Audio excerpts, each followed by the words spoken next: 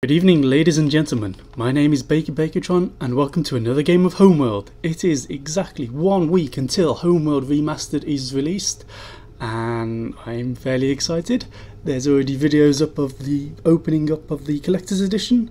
Mine hasn't arrived yet. In fact, mine will probably take a while to get here but you know, it's coming and I'll get it on Steam anyway just so I can play it as soon as it's released and I'm going to book the day off work and it's going to be fun and awesome and yeah, I'm looking forward to it. Anyway, back to a Homeworld Classic. As you can see, this is a rather odd looking map. Um, I really should have looked up the name of it first. Oh well. Uh, yes, so ordinarily, as you may or may not be aware, in games of Homeworld, the two motherships tend to move towards the centre of the map where the biggest resource patch is, and then fight it out between them there. But that's not quite going to happen this game. Although this player is moving towards the middle, this guy is just sitting here not doing anything, and I should introduce them. So uh, I'm not referring to them as this guy. Anyway, this person here, this sort of Hiigaran greyish, this is... Oh dear, Prez EMAS 707? Collector under attack. Oh, and his collector's under attack. Oh, Capital ship chassis scout. research yes. complete. Prezimas 707 Assault and his opponent, the sort of greenish yellow person, is Skynet, who has a far easier name to say. And it looked there for a second that Skynet was going to start the fight, but he's pulling back a little bit now. Um, in terms of resource harvesters, it's two controllers, three collectors. I think that's all of them for 707. And this is Skynet, and I can't just select them all. Skynet has only oh has four collectors and only one controller. So I'm not quite sure who's going to have the income advantage there. Resourcer under attack because and having the second controller is possibly useful but I don't think not having it is causing it so many problems. Actually now there's a fifth resource collector arriving he could probably do with a second controller. But we'll have to possibly wait and see just in case there's well um, let me start the sentence again. Wait and see if there's sort of a queue forms to dock with these harvesters. Because if there is a queue, then obviously it will be useful to have a second controller. If there isn't a queue, then the second controller would be a waste of resources. And I should... Only one research ship built for 707. Skynet has also only built one. They both started with two. And they both seem to be doing pretty much the same... well...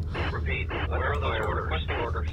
Scouts like corvettes and repair corvettes which for some reason I've started to see a lot more often than I thought I used to which doesn't make sense because these games are just in uh, they're not in like date order or anything.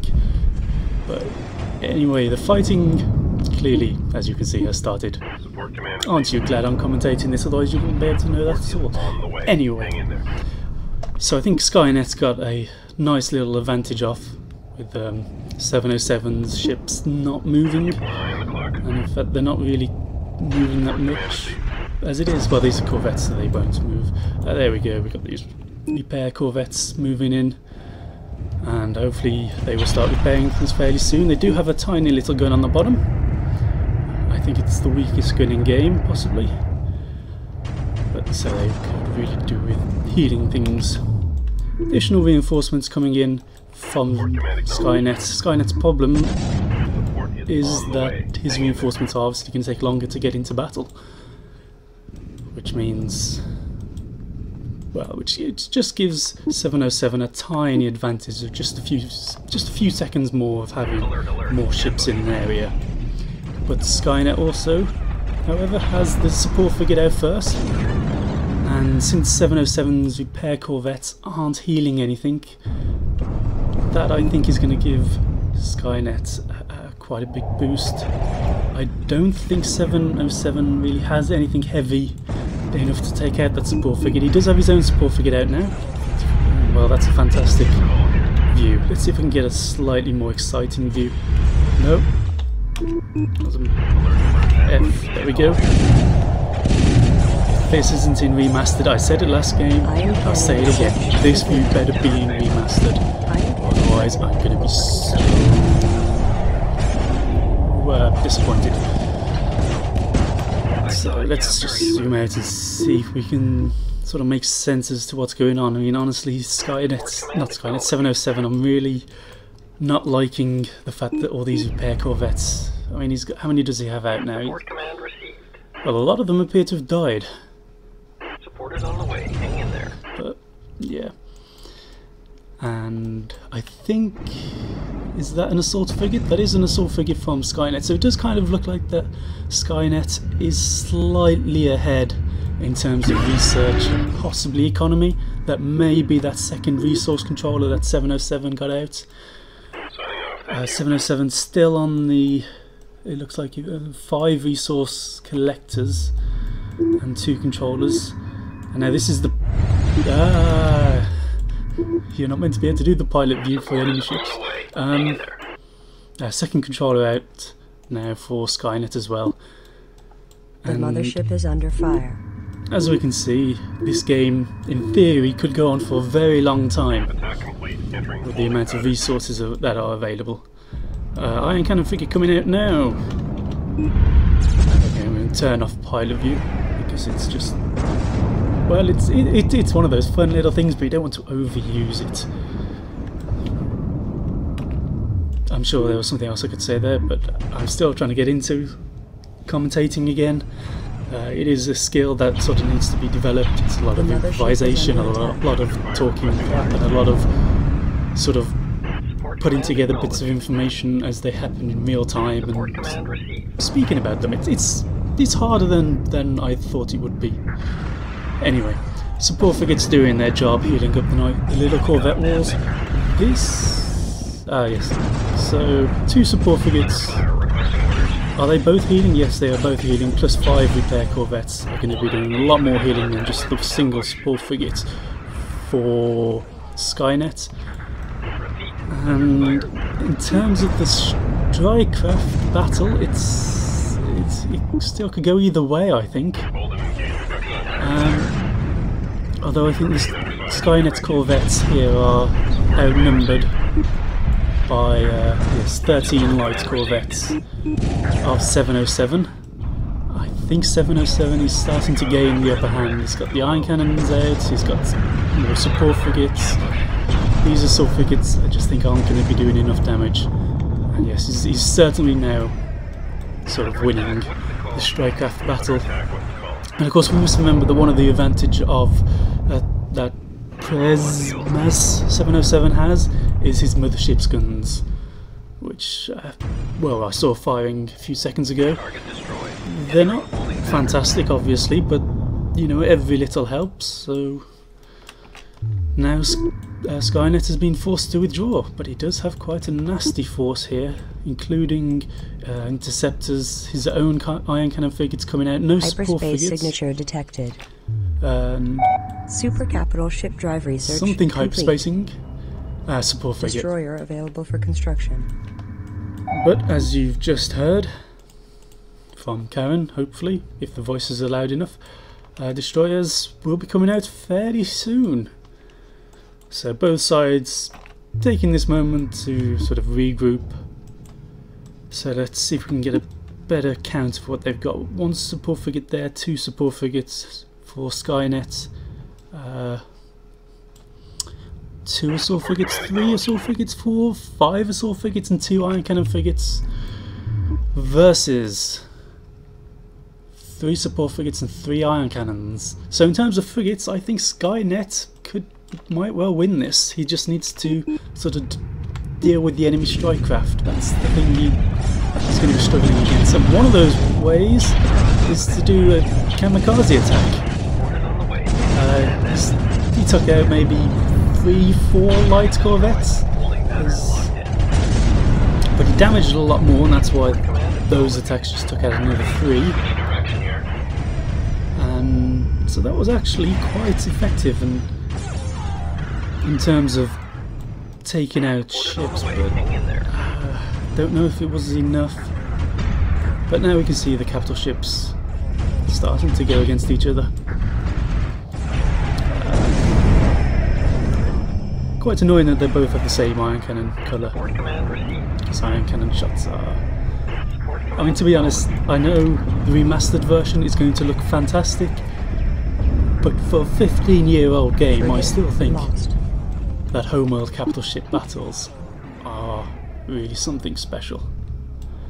More ion cannon frigates, more support frigates, etc. etc.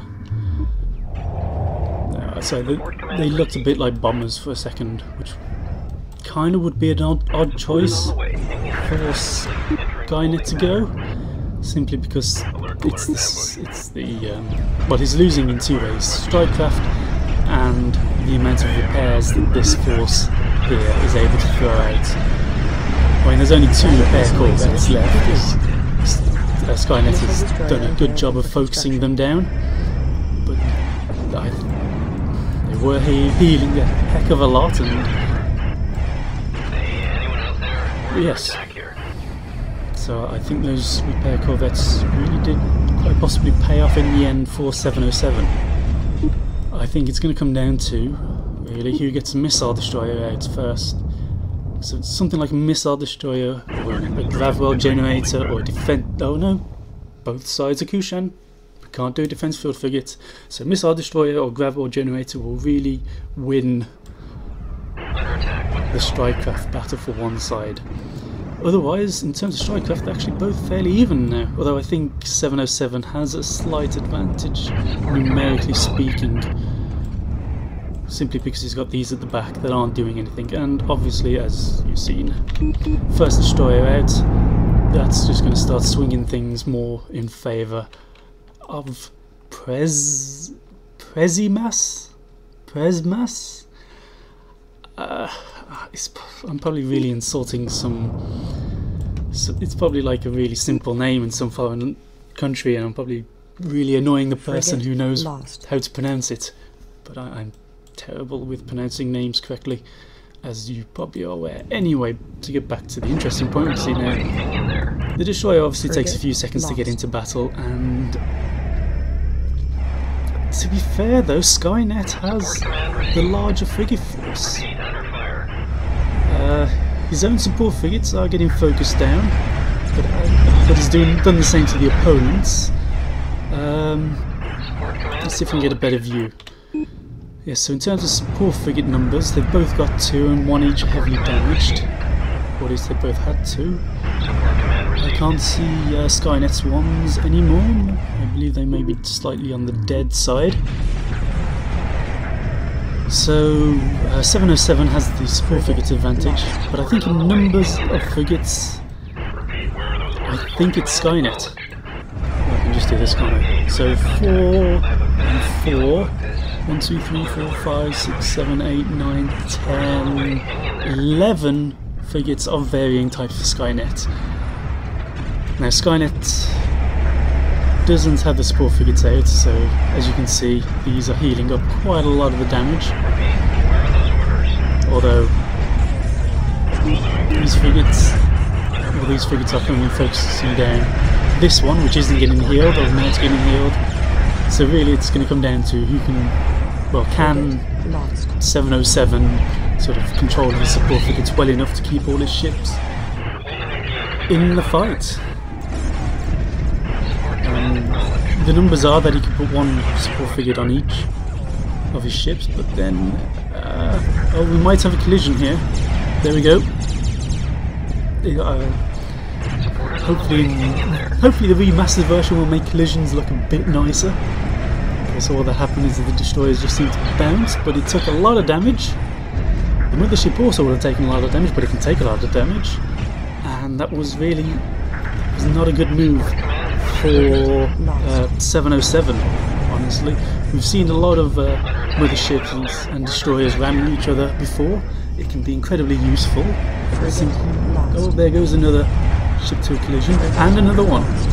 So I don't know whether it's on purpose, but Skynet, Skynet's mothership has wrecked one destroyer and now has taken out a third frigate. And that's quite impressive. And all of a sudden, there's a hell of a lot of Strikecraft out for Skynet. And it looks like 707 is sort of on the ropes a little. He does have two destroyers out, but one of them's almost dead. Frigate lost. Uh, his support frigates, or his own frigates forces, are now looking very, very small. And 707 has has sort of clawed his way back into this. Oh. That, I don't think the mothership can move backwards, so I think that was just a bit of miscontrol by 707. Unless 707 really was, you know, death or glory attack on the enemy mothership. But I don't think think that was the case. I think it was honestly just a bit of bad control. And now definitely 707 is going to be struggling. And obviously the harvesting's still going on.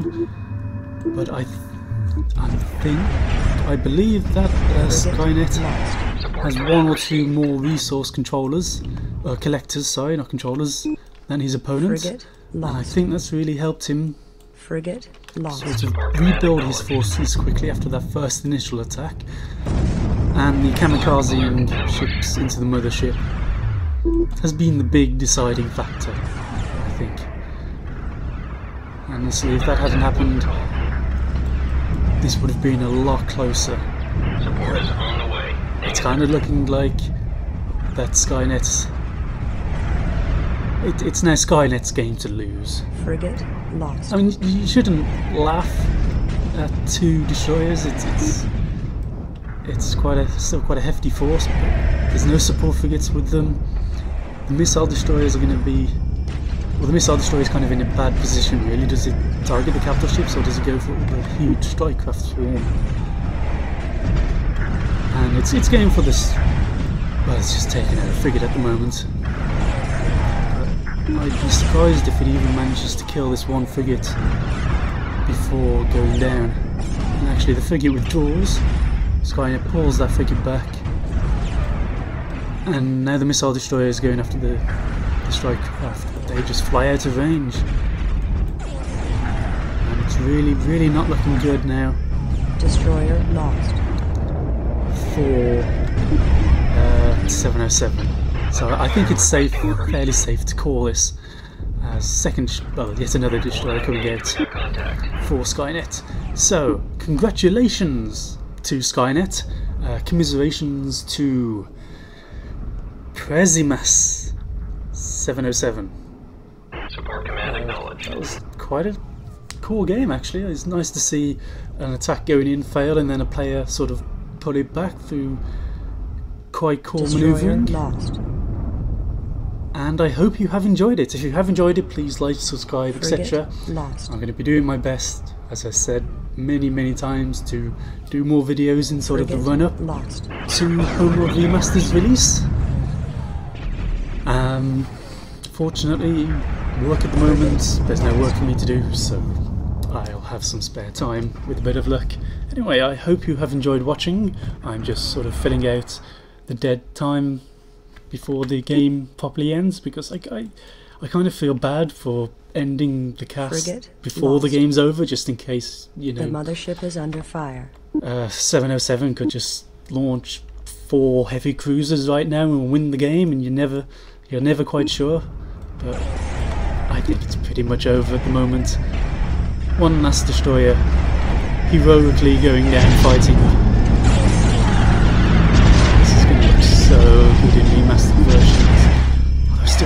The multiplayer is like with the squadrons. The mothership better not have- if, if they've put fighter squadrons into Homeworld 1 multiplayer, it's. Uh, Destroyer lost. yeah, that's my views on the subject. So, this could take a while, so I'm definitely going to end it now. Thank you very much for watching, and I'll see you next time. Goodbye. No, that's not the button. Oh, what have I set it to? That one. No. Oh no, that one. It's something like that. Oh, um, okay. Uh, let's... Why isn't this working?